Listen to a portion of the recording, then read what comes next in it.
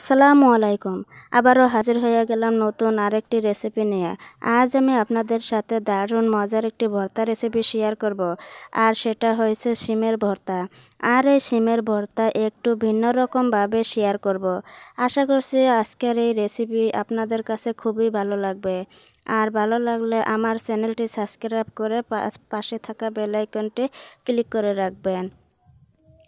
তাহলে চলুন কথা না বাড়িয়ে রেসিপিটি শুরু করি।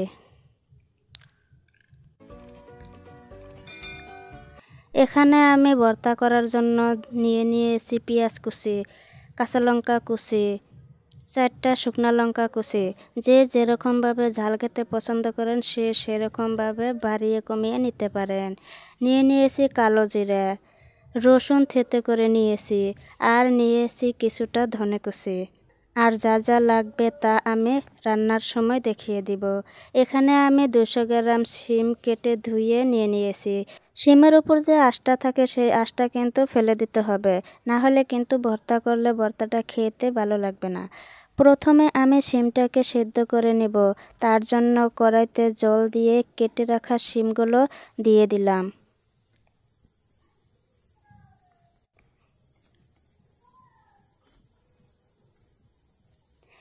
এরপর দিয়ে দিচ্ছি সামান্য একটু লবণ।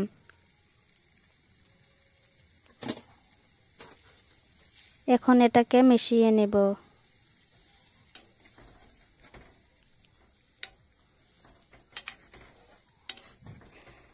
এখন এটাকে ঢাকনা দিয়ে ঢেকে সেদ্ধ করে নেব।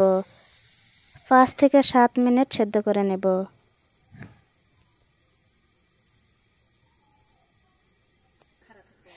ফিরে আসলাম সাত মিনিট পর। শিমটা সেদ্ধ হয়ে গেছে। শিমটা সেদ্ধ করতে কিন্তু বেশি সময় লাগে না, কম সময়ের মধ্যে হয়ে যায়। এখন আমি এগুলোকে নামিয়ে ঠান্ডা করে পেশ করে নেব। এরপর একটা ফ্রাই প্যানে হাফ কাপ সর্ষের তেল গরম করে নিয়ে দিয়ে দিলাম থেতলে করে রাখা রসুন। আর এই ভর্তাটা কিন্তু অবশ্যই সর্ষের তেল দিয়েই করতে হবে। আর এইগুলোকে নেড়ে চেড়ে নিচ্ছি।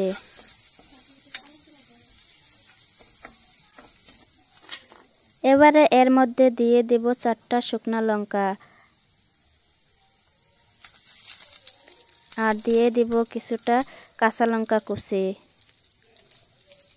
এগুলোকে নেড়ে চেড়ে ফ্রাই করে নিচ্ছি।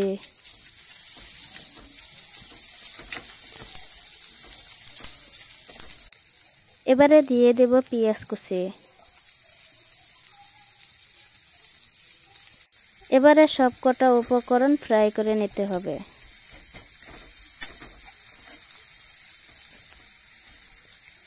এর মধ্যে দিয়ে দেব কালো জিরে। দিয়ে দিলাম স্বাদ মতো লবণ। এই অবস্থায় চুলার আঁচটা মিডিয়াম টু লো ফ্লেমে রাখতে হবে। আর অনবরতে নেড়ে চেড়ে নিতে হবে। না হলে কিন্তু পেঁয়াজগুলো পুড়ে যাওয়ার সম্ভাবনা থাকবে। তো দেখুন, পেঁয়াজগুলো সুন্দর ব্রাউন কালার হয়ে গেছে। এবারে দিয়ে দিব পেস্ট করে রাখা শিম।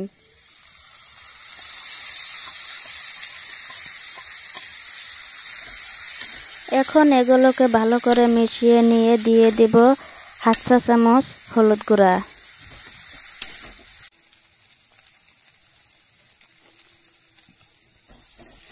এখন এগুলোকে মিশিয়ে নিয়ে চুলার আঁশটা বাড়িয়ে দিয়ে কষিয়ে নিতে হবে। এভাবেই নেড়ে চেড়ে কষিয়ে নেব। তিন থেকে চার মিনিট কষিয়ে নেওয়ার পর দিয়ে দিচ্ছি ধনিয়া পাতা কুচি। শীতকালে কিন্তু প্রচুর পরিমাণে ধনিয়া পাতা পাওয়া যায়, তাই একটু বেশি পরিমাণে দিলে ভর্তাটা খেতে আরও বেশি টেস্টি লাগে। এখন এগুলোকে মিশিয়ে নিলে আমার শিম ভর্তা রেডি